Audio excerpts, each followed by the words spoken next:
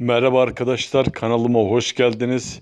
Bugünkü videomda sizlere telefonda ekran rengi nasıl değiştirilir?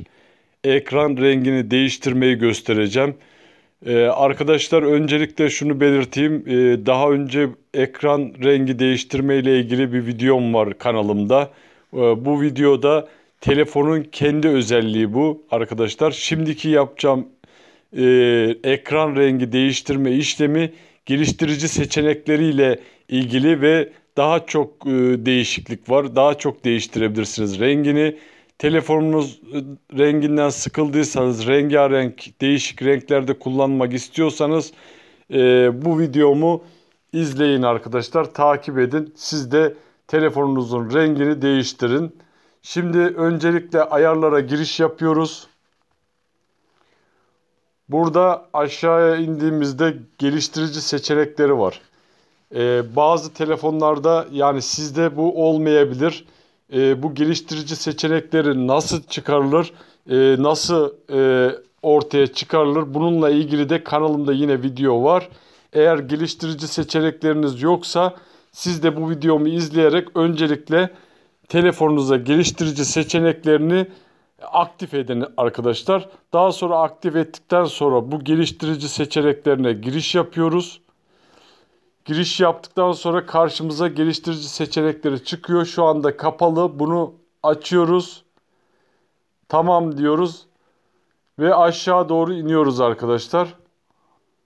Bu renkle ilgili bölüm var. Bunu bulacağız arkadaşlar. Burada bu işlemi buradan yapıyoruz. Evet arkadaşlar renk alanını taklit et. Burada bu bölüm telefonumuzun ekran rengini değiştirmeye yarıyor. İşte bu bölüme giriş yapıyoruz. Şu anda devre dışı bırakılmış durumda. Normal telefonun rengi. Şimdi bunları aşağıda 4 tane seçeneğimiz var. Bunların istediğini istediğinizi hangisini beğeniyorsanız onu yapabilirsiniz. Sırayla ben sizlere göstereyim. En alttan başlayarak işaretliyorum ve geri geliyorum arkadaşlar. Ekranımızın rengi böyle bir renk oluyor. Güzel, hoş bir renk arkadaşlar. Eğer bunu beğenirseniz bunu kullanabilirsiniz. Buradan tekrar ayarlara geliyorum. Ve bir üst kısımda bulunan e, kırmızı yeşil yazıyor. Protonomali diye bir renk var. Buna basıyoruz. Ve geri geliyorum. Bu şekilde ekranımız böyle bir renk oluyor. E, bu da bir çeşidi arkadaşlar. Yani bu renkleri hangisini beğenirseniz bunu yapabilirsiniz. Buradan tekrar geri geliyorum. Tekrar basıyorum renk alanını taklit et kısmına. Üst kısımda kırmızı yeşil Deuteranomali diye bir kısım var. Oraya basıyorum ve tekrar geri geliyorum. Ekranımda bu şekilde renkler oluşuyor. Bunu beğenirseniz bunu yapabilirsiniz. Tekrar geri geliyorum arkadaşlar. Basıyorum. En üstte bulunan monokromasi diye bir bölüm var. Buraya basıyorum. Burada da siyah beyaz oluyor arkadaşlar ekranımız. Eğer telefonunuzun ekranını siyah beyaz kullanmak isterseniz e, bunu da tercih edebilirsiniz.